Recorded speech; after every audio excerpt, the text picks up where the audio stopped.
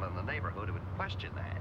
But nevertheless, I was wondering, uh, how should I answer that question? Well, if you don't.